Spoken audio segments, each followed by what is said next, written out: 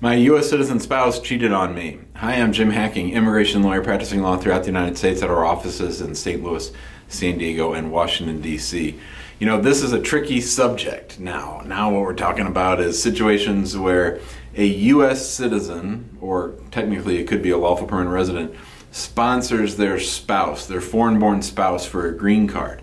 And while the case is pending, the U.S. citizen cheats on the foreign national this is a really delicate and difficult situation. Now, if our office were the ones that filed that case, we're going to be a little bit hamstrung in that the interests of the foreign national and the U.S. citizen might be divergent. They might be separating. And in those situations, we usually have to withdraw as the attorney. But that's not the point of this video. The point of this video is what happens to the underlying case if the foreign spouse, I'm sorry, if the U.S. citizen spouse has cheated. And what can make matters even more complicated is if the U.S. citizen either gets pregnant or impregnates somebody else. Now, obviously, from an emotional standpoint, this is high drama. This is Jerry Springer stuff.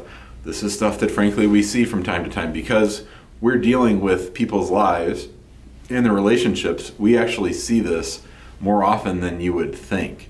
And when we see it, um, it can really cause damage to the case. Of course, you know, our position is always, yeah, you, you're our client, U.S. citizen. Yeah, you're our client, foreign national. But really, our client is about getting the case approved. Our client is an approval, right? And so this really puts a knife to the heart of getting the case approved. It's still approvable, but um, you know, generally infidelity is not going to come up at an interview. I've had very few officers ask about infidelity, but infidelity or relationships outside of the marriage can really cause problems. Not so much because the officers look down upon that, although they might for religious reasons or puritanical reasons or just because of the predilections of the officer themselves, but also because it goes to the weight of the marriage. How much weight should we give? How valid do we think this marriage is? If the U.S. citizen is out catting around, having sex with other people, and perhaps getting pregnant. It's the it's the child, the, birth of the child, that really um, brings the issue to the forefront.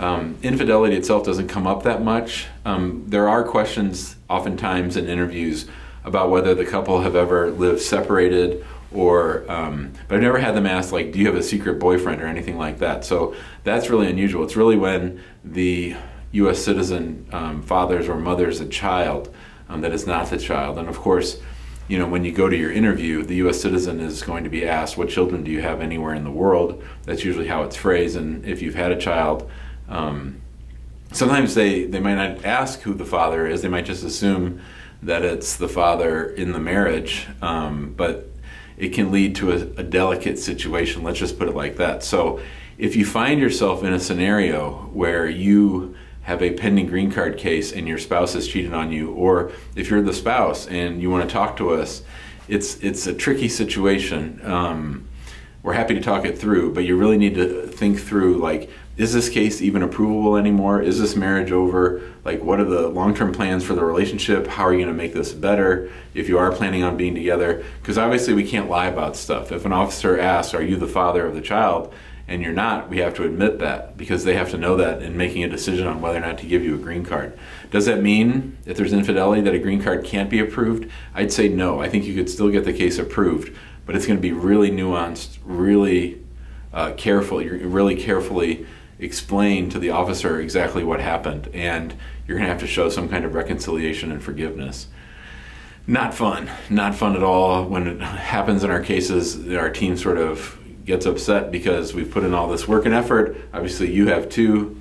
Um, and now the whole thing's just sort of blown up. So it's always interesting when that happens, and people are complicated, and lives are complicated, and that's sort of why we do what we do and why people need us. So if you have questions about this, give us a call 314 961 8200. You can email us info at hackinglawpractice.com. Be sure to join us in our Facebook group, which is called Immigrant Home. If you like this video, we ask that you please share it out on social, that you subscribe to our YouTube channel and that you join us on Tuesdays and Thursdays, most days at noon central, where I'll try to answer as many of your immigration law related questions as possible. Thanks a lot and have a great day.